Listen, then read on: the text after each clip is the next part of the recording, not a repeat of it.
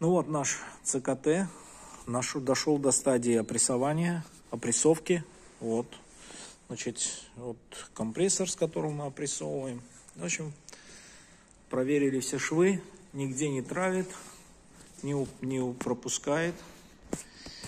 Так, все нормально. Держит где-то полторы атмосферы мы опрессовывали нормально все.